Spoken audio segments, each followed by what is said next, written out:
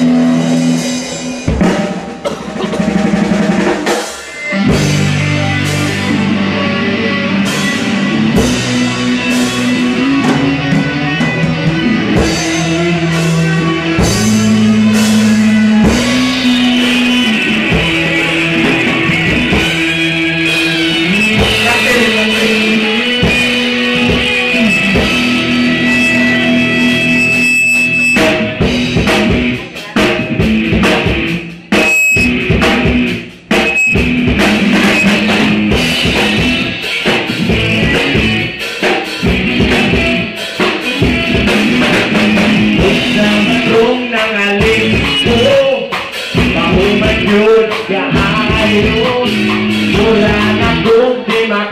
ginawa o naghalapa Ay akong mata.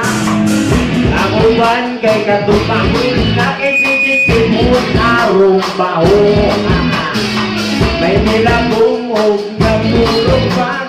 Sa ka.